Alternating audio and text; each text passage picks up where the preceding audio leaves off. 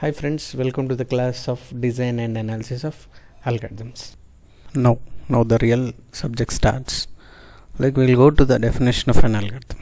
So what is this algorithm? An algorithm is a sequence of unambiguous instructions for solving a problem. So we'll see, we know what is an algorithm, like it's a step-by-step process. At basic level we know that.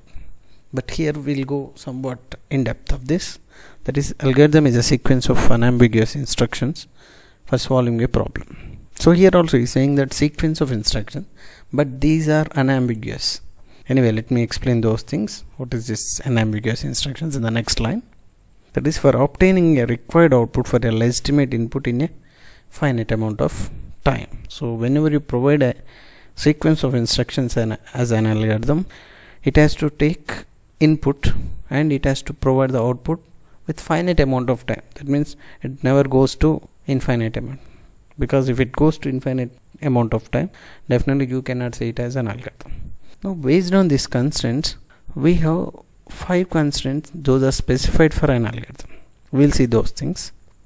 The first one definiteness.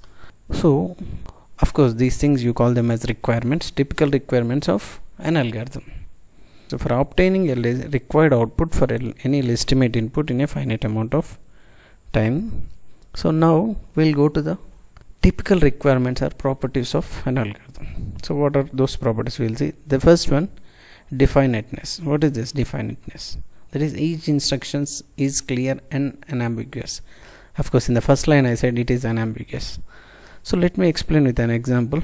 If I say add 5 to x this is unambiguous. Like if I say add 5 to x you need to our computer will add x 5 to x.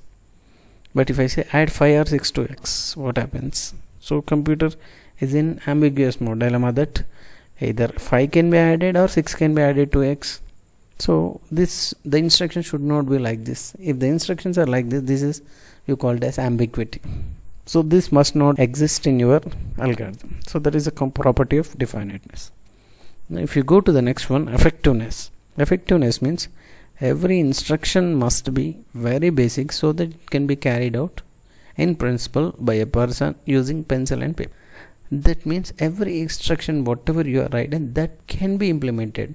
Already i told you in the previous slide that is your algorithm is in the next level is implemented as a program. That means it can be it is able to program. That means whatever the instructions you have written whatever the symbols that you have taken must be implemented in any of the computer environment. That is only you call it as effectiveness. That's why you need to write every instruction must that is in basic. Now we'll go to the third one that is finiteness. What is this finiteness?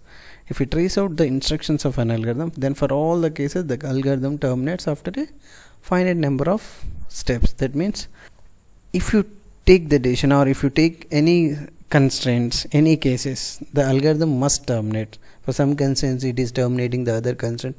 If it doesn't terminate definitely you cannot call it as an algorithm. For all the cases it must be terminate for finite amount of time. It never goes to infinite loop.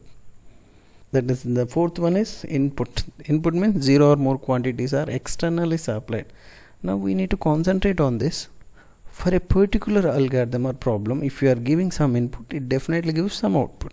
So here he is saying zero or more quantities. What is the zero inputs or more inputs? Let us take in your program if you give the values int a equals to 5 that means you are giving the input internal. You are supplying the input internal. Then I can say that externally I am supplying zero inputs or else if you want to give at the execution that is you called as you are giving the inputs. So that is the difference between zero or more quantities are externally supplied. Now the final one is output. Definitely why you are writing all these things or why you are writing algorithm is definitely you require output. That's why at least one quantity is produced. So these five properties are taken into mind whenever you write an algorithm. That is definiteness effectiveness finiteness input and output